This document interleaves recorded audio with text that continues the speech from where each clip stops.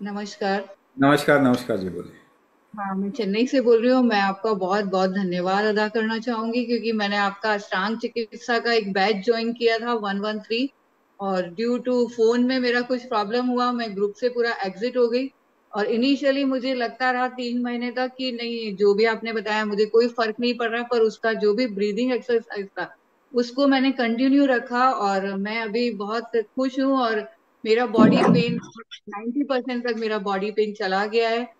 But मैं उसको continue करना चाहती हूँ। उस बैच में वापस मुझे जाना है। मतलब आप नंबर छोड़ दीजिए। आप नंबर छोड़ दीजिए। कोई मेंटर कोई मतलब आपसे बात कर लेंगे। फिर आपको ज्वाइन करवा हमारी हाँ हाँ शालिनी।